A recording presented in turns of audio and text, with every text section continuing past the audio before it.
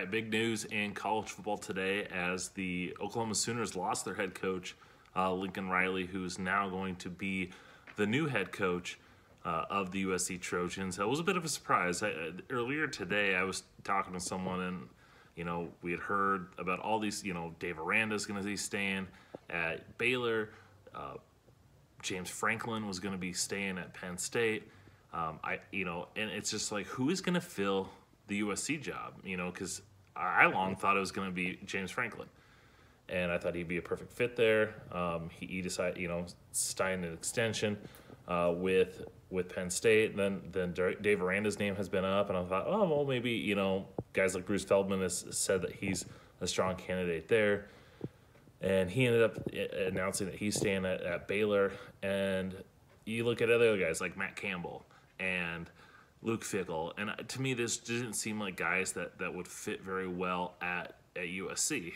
And you just kind of got to wondering who is going to take this job. And I know Lincoln Riley was mentioned as a potential U, uh, LSU coach, but I never really thought about him going to USC. And so earlier today, not too long ago, when it was announced that he had, had told his staff, told his players that he's going to USC, it was, a, you know, I wouldn't say a surprise, um, but it definitely caught me off guard. But that doesn't take away. I think this is a tremendous hire for USC. I think they got one of the better coaches in college football and a guy that I think is going to do very well. This is huge, not only for USC, but this is huge for the Pac 12 for far too long, the Pac-12 has let their top talent leave leave the West Coast and go into the Big 12, go into the, the Big 10 and the SEC and even the ACC and have a lot of success. And the, uh, you know this move could really change that. If you look at what Lincoln Riley has done and a lot of the top prospects, I mean, go look at the top Oklahoma commits that they have right now. A lot of those guys are from Southern California. Lincoln Riley did most of his damage getting most of his elite players from the West Coast. And look right now at, at the, some of the top Heisman candidates. There are guys from, you know, Bryce Young at Alabama is from California. Caleb Williams, who's Oklahoma's starting quarterback right now, is from California. You know, CJ Stroud from California. There's lots and lots. I mean, Najee, uh, Najee Harris, who, who you know, rookie with the Steelers this year, with Alabama last year, is from Oakland. There's a ton of talent in the state of California that is leaving annually to go to the SEC, Big 12, and Big 10. And that's what's killed that conference more than anything. And USC is a top five job, has the potential to be one of the five best teams. It, USC has the potential to be a college football playoff contender year in and year out, but they've had such bad hires since Pete Carroll. I mean, Lane Kiffin, they hired him, but he was so young in his career that he just, you know, we saw he wasn't ready for it. He needed he needed time to learn and grow, and we see what he is at now at at Mississippi. He wasn't that way at USC, and then they hire Sark, and then they hire Clay Helton, and then they hold on to Clay Helton for so long. They have not had a good hire since Pete Carroll, and that changes with this Lincoln Riley hire.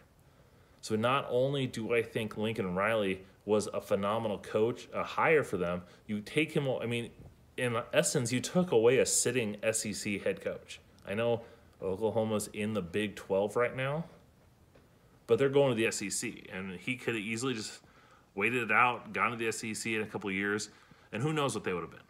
And I don't buy this whole, oh, he, he's afraid to go to the, the SEC. But Oklahoma's going to do well in the SEC. It might have taken them a little bit of time to get used to it, but they were going to ramp things up. You know, players want to play in the SEC.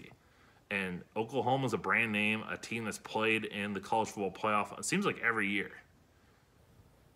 And Lincoln Riley's a good recruiter and a good offensive mind. And I think for as much success as he's had at Oklahoma, he's going to even be better at USC because he's that much closer to these elite skill players.